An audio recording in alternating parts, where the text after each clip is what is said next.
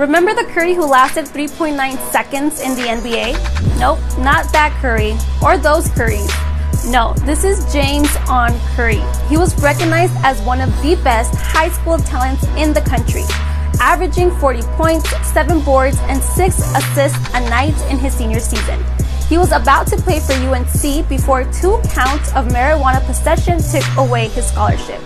He went to Oklahoma State for three years, dropped one 40 point game, and decided that it was time for the NBA. JamesOn Curry was selected by the Chicago Bulls, but did not play for a single second. He was waived and floated in the D League until 2010 when the Clippers picked him up. In a game against Boston, JamesOn Curry got his one and only NBA highlight.